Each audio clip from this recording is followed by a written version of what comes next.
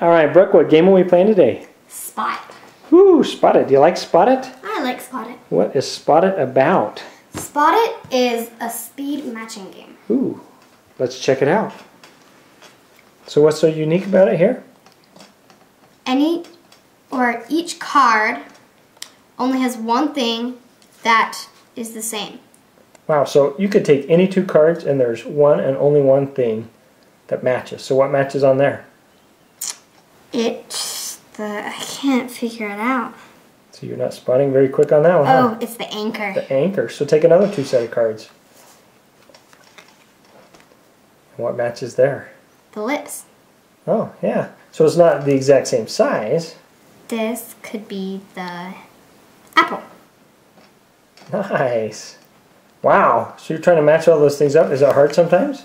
Yeah, because sometimes it's really small and big on the other, and you can't really. So the sizes are different, but well, cool. Well, what's the objective of Spot It? It depends. What do you mean it depends? Depends on what game you're playing.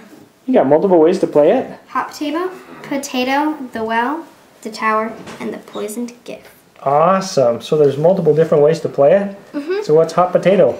Hot potato is you have one card in your hand. Each person has one card in their hand, Okay. And at the same time you flip it over, Uh huh. and you try and give your card to another player, and you don't get any more because they can't match anything in your hand. So you're just trying to get rid of so your cards. if they had this card, Uh huh. I would have to hurry and figure out what's the exact same, and it would be the range up. I would say range up and put it in their hand, And then, and then they would have to get rid of this and then that wow. And so the last person with one with all of them. loses. Yeah. Okay. Well, what's the next way? The next way is the tower. Ooh.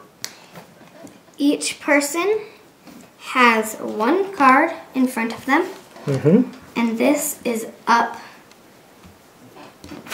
facing up. Okay. And what you're trying to do is at the same time you flip it over, and you're trying to match these. So I would go snowflake, and you're trying to get as many as you can until this runs out, and then you count, and whoever has the most wins. Okay. Cool. So you're just going through that whole tower. What's the next one?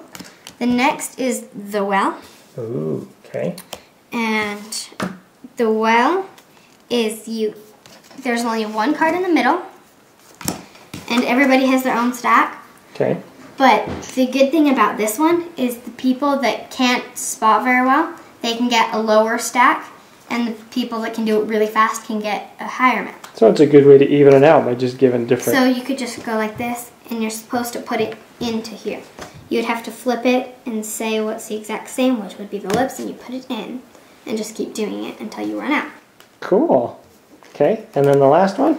The last one, the poisoned gift, is my favorite Oh, why is that?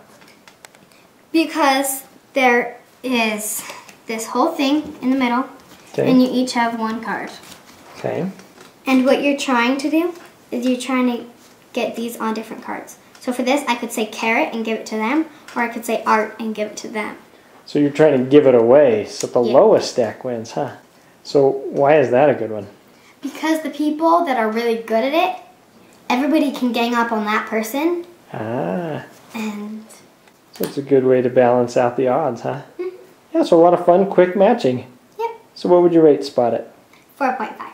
Ooh, a very high one. Mm-hmm. You think everybody should have this? Mm-hmm. All right, thanks, Brooke. Yep.